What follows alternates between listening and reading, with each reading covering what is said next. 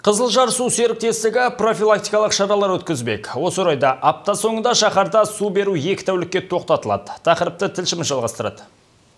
Жыл сайын Қызылжар су серіктестігі жаздан соны немесе күз мезгілінің басында су таратқы желіні тазалап тұрады. Өйткені бір жылдың ішінде құбырлар құммен, өзге де заттармен бітеліп қалады. Ал бұл кейін тіршілік көзінің сапасына әсер етуі мүмкін. 16.00 часов мы отключаем воду. Құбырларды жуып шайы жұмыстары қыркүйектің 16-сы түнгі сағат 12-де басталып, 18 күні таңғы 6-7-ге дейін жүргізіледі. Біз тұрғындарды сенбіден бастап ескертіп келеміз. Бірінші күні механикалық тазалаумен жөнде жұмыстары қатар атқарылады. Ал жексенбіде желдегі су құбырлары толығымен хлормен шайылады. Қала бойынша су беру уақытша тоқтатылғанымен әлеуметтік маңызы бар мекемелер тіршілік көзінсіз қалмайды екен. Бұндай нысандарға су тасымалдауды Қызылжар су серіктестігі өз мойнына алып отыр.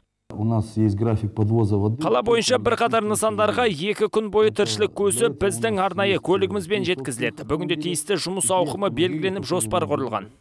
Айта кетсек, мамандар дүйсенбі және сейсенбі күндері суды асқа пайдаланбауға кеңес береді. Өйткені бастапқыда оның құрамындағы хлор қосындысы шамадан тыс болады. Сондықтан қала тұрғындары қазірден бастап таза су қорын 5-6 күнге жинап алғаны дұрыс. Тоғжан Ақмағамбетова, Қазбек Арықбаев, муниципалдық телеарна.